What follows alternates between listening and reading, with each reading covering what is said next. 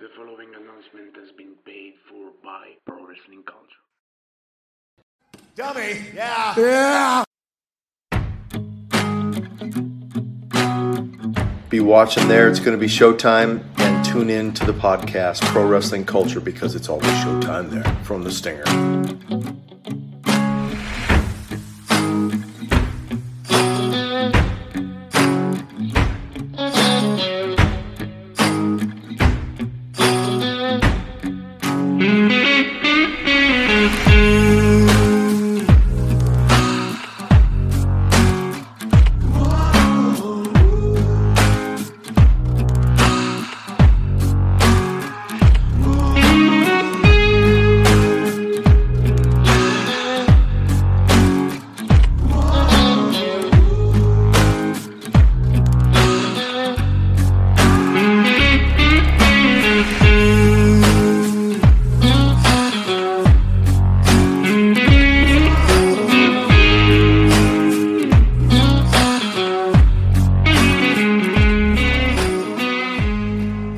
Are live, live. Welcome, ladies and gentlemen, a new brand episode of Pro Wrestling Culture. My name is Aldo Fiadone, and uh, this is Alan Mack, my special friend and partner for the evening. Hi, Alan. Thank you for the friend. Eh? it's true. It's true. It's damn true. Oh, thank you. I appreciate that. and uh, this is uh, our special guest for this special episode. This is James Mason. I'm James. How are you doing? I'm very good. Hello, everyone. Hope you're all well. Nice to speak with you all. Thank you very much. Absolutely. Thank you very much. So, James, uh, my first question is uh, um, tell us uh, anything about uh, the beginnings, the first part of your career, and uh, uh, for uh, your run in the European wrestling, the evolution of European wrestling during your time in the ring. So, it started for me, it was around about 1987 was when I went to see my first ever wrestling show. And I feel from that moment on, onward, I was just hooked. It was a, a, a famous wrestler, Big Daddy was there as the main event. And once I'd seen Big Daddy and the other guys that was on, I was just hooked on British wrestling. And uh, I was tunnel visioned. It was all I ever wanted to do. I started doing amateur wrestling from the age of uh, 11, which was in about 91. And then at 1993, I was uh, able to help uh, one of the referees set up the ring. And it all sort of went from there. I've seemed to have a full time job in pro wrestling from July 1994. So been been very, very lucky for me. So you you've wrestled in, in many countries, in many companies, and I think uh, uh, your first uh, big appearance was in TNA in 2004 for the American X Cup uh, tournament. Uh, so, um, what do you think about uh, that time for you in particular and the TNA wrestling because they changed many things during the years during their 21 plus years? I, I think for me, with the TNA appearance I did, that was a big eye opener for me because I was so, like I say, tunnel visioned with British wrestling. I just wanted to be a British wrestler. I didn't really give much attention to wrestling around the world. And we got an opportunity to go to TNA, and then all of a sudden I realized there was a whole nother world of wrestling. I knew it existed, but I knew very little knowledge of it. And then once I went to TNA, it just opened my eyes to a whole nother side of wrestling, as in TV wrestling, as in the glitz and the glamour side of wrestling. I obviously knew it existed, but seeing it at first hand with TNA, it was a, a big, big eye opener for me. And then just realizing that there is a whole new world of wrestling that I wasn't familiar with. So it was a it was a big opportunity for me.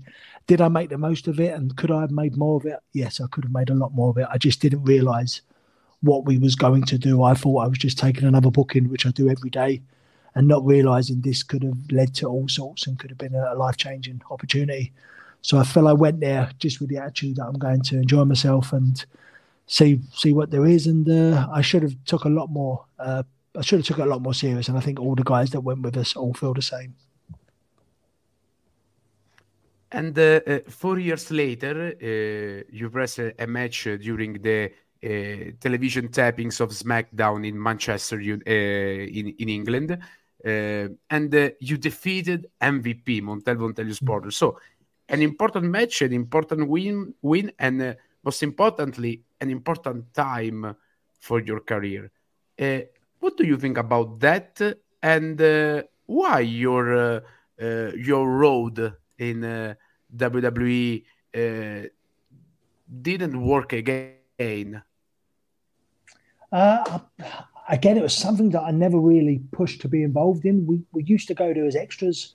We was all lucky enough to get a job to be those extras with very little hope or expectancy of actually wrestling. And it was just if they needed people to be involved in matches. And I was very lucky that day to do that match. It was one of the, the biggest sort of moments of my life, really. But I, I never did it to try and get to another level with WE. I was I was still at a stage where I was very happy just wrestling in England. I was still working full time still wrestling all over Europe. I was, I was still very busy. So again, it was another one of those opportunities. I could have really pushed it. I could have made a bigger thing of it. But again, with, with my career, I've just been as long as I'm wrestling every weekend and every week, I've always been happy. But again, it's another one of those moments where I could have pushed it, and who knows where I could have got to after that, and what more could have come of it. It's just something again I've I never pushed, and maybe in 20 years' time when I'm not wrestling no more, I may regret these moments of not pushing it further. But it was a great opportunity.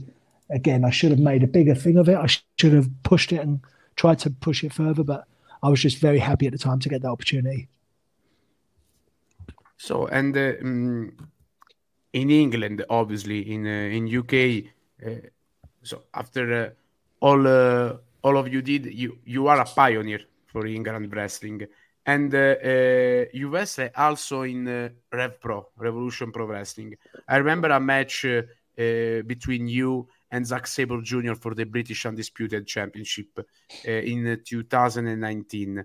and you wrestle Kurtis Chapman, Gabriel Kidd, another big talent for Rev Pro and the European scenario.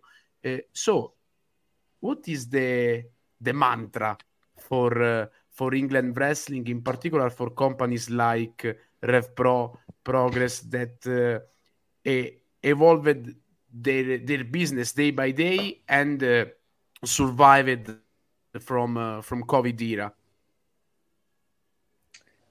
Uh, I think it, it's a bit. Uh, it's not the, the, normal type of shows I wrestle on. I'm, I'm, happy to wrestle on any shows, and I'm. I think it's amazing what those sort of companies do. But then, not my my main uh, earnings where I make my living through wrestling. So it, it's again, it's a new sort of side of wrestling that I have very little dealings with. But I'm just very blessed that when I have got any involvement in, especially Rev Pro and companies like that, they let me be me. They let me wrestle guys that I can still be me. I can still do my British style. And I think because of the types of show they are, the British style still works very well. It has a very good hardcore following that want to see the new up and coming wrestlers. They want to see every type of match going, but they still appreciate good British British wrestling, which is is great to see. So I'm very blessed that they give me an opportunity to to do what I do on those shows. And I think during COVID, they they were the companies that kept kept going. Somehow they just seemed to to stay afloat, keep going. And from what I gather now, these companies are going from strength to strength, and they're a, a great example of keeping British wrestling on the map. As I said before, there's not all of it is prime British wrestling that I was grew up on, but they certainly still respect their heritage and they certainly still touch on those sort of moments in their shows. And whenever I'm involved, it's uh, it's great for me to still have a, have a place on those type of shows. The next step is uh, Italy, Italian wrestling, premium champ- premium championship wrestling. Uh, you will have a seminar uh, for premium and dream wrestling. And uh, uh, the next October, for 15 October, 15th of October, Sunday. yes, yes, yes you will have uh, an appearance for uh, for this show. Uh, what do you feel about it? Well, firstly, I'm very happy to be coming back to Italy. I, have been lucky to wrestle all over the world during my career, but I've only been to Italy once, and I had an amazing time. I love the, the the city I was staying in. I love the country. I love the people. It was just a really amazing place. I always say it was the only place I've ever been in the world where I just wish I was there with, with my wife and my family. It's just it was such a lovely place. So I'm I'm over overwhelmed to be going back there. I've actually got two trips coming up to Italy, which I'm very excited about. Uh, and from what I gathered, the opponent I'm I'm wrestling that night is is a perfect opponent for me. He's someone who understands the wrestling I do. Someone who I've asked around, and he's got a very good name. Uh, and yeah, it's just great to have an opportunity again to, to go to Italy, and especially to make a training seminar as well. That's that's somewhere where I really uh, like to think I excel in. It's something that I, I really enjoy doing now. I feel like what I do is a little different than some other people. So it's a great thing to, to go to places in Europe, especially Italy, and to provide something that I believe that not many other people in the world are providing right now. So yeah, I'm really excited to be going. I'm very much looking forward to it. Alan, your turn. Yeah, speaking of your uh, one and only appearance uh, for the moment uh, in Italy, it was for the um, SIW. Then it was called the Scuola Italiana Wrestling. Now it has has become uh, Superior Italian Wrestling. Uh, your opponent at that time was uh, Fabio Ferrari. And what I'm curious about is your opinion on your opponent, um, on Fabio. Uh, I think it's no secret about Fabio. I've spoke very highly about Fabio Ferrari uh, over the last, last few years. Uh, someone that I wrestled quite a bit in England. I was very lucky to wrestle him in Germany, a country that I, I love wrestling in, and to wrestle Fabio there. He's another guy that I think got my style. I certainly understood his style. And I mean, maybe I'm saying too much, but you, you can gel with certain people, you can wrestle certain people, and it works. I don't know what it is, I don't know what the reason behind it is, but it just works and he was one of the guys that I, I, I enjoyed wrestling. I didn't always win.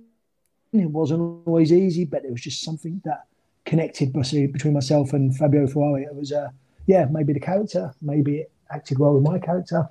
Uh, it was just a great opponent to have. So obviously, for my first appearance there, to wrestle him in a in an audience that I feel got what I did, they understood what he did. It just meant that we could make a match that was very different than the rest of the matches on that particular show. So it, it helped me stand out a bit. And uh, yeah, it was it was a great opponent for me there. Great. Um, Aldo, if it's not a problem for you, my next question I will will save it for last because it's about you... uh, the next uh, event uh, in uh, in premium. Absolutely. The the stand is yours. oh, thank you. okay, uh, about the next opponent and um, what do you expect from uh, your match in premium? The reaction of Italian fans about uh, uh, your figure? Well, I, I certainly expect to win the match. I never go into a match expecting to lose. I don't always win. I lose quite a lot now as I'm getting older, but I still expect to win, and I'm going to be going out with every every bit of me that's going to win. Uh, as for the reaction from the fans, I, I, I feel I'm very good at uh, engaging with an audience. If an audience is reacting to one thing, I can work on that. If they're not going out to to give audience reaction and audience participation, if the audience get into the match, regardless if this move is hit or that finish is done or the the story is there, as long as there is reaction, I feel that is a good match for me. I, I do a lot of live wrestling opposed to TV wrestling. So when I make a live show, it is all about the audience and the reaction from the fans on that evening. So my whole engagement on that night is obviously to win, but ultimately I, I want the the crowd to be engaged. I want them to enjoy what I do, and I want them to see something different that they're not going to see from the rest of the matches on the show. I, I feel like a lot of shows at the moment, there's a lot of matches that maybe a little bit staged or maybe a little bit set up, and I think after a certain amount of time, the audience can can see through stuff. So I want to be the match on that evening that the audience don't know what's going to happen, that they are sort of sitting on the edge of the seats and they're not quite sure what it's going to be. And that, that's the way I try and engage with an audience is I want my match to be different than than the rest of the show. And that's uh, I'm not saying it's going to be the most exciting, it's not going to be the big high flying match, or but I'm going to make sure that my match is very entertaining and very different than every other match on the show. That's that's what I try and promise when I take a book. And and and your opponent, your opponent is a is a a, a real real uh, opponent because he is Rocky Laurita. Uh, uh, have, have, have, some name, have some talent here in here in Italy. I think uh, uh, that will be a huge match between you two. Well, any guy with the name of Rocky, that's that's going to be a great opponent for me. What a that's a, that's a great wrestling name. So uh, yeah, I'm I'm looking forward to the match just for that reason alone. But I, have asked some, some other colleagues, I've got some other wrestlers from Italy. They've given me their opinion on Rocky, and it's all good. Everyone said he's a good opponent for me. So, yeah, I'm, I'm very much looking forward to, to the match. and I will be looking at the front row. I will be there. Alan? Uh, I will I will look out for you and I will shake your hand and uh, yeah, hopefully uh, you'll be on my side. Um, can I can I do my last question, Aldo? If you have... Yeah, yeah, no oh, problem. right. No problem. Um, damn, I forgot it. Uh, I had it here. I forgot. Completely forgot. Um, We've ah, got yeah. loads of time. um, There's no rush. okay. Um, we saw. Um, I had uh, Rocky uh, on my podcast. I we did an interview together with him, and uh, we asked uh, a lot about the the first show, the Premium Cup, and the extra match that is uh, uh, Mason versus uh, Laurita. Um, but there is one particular um, character.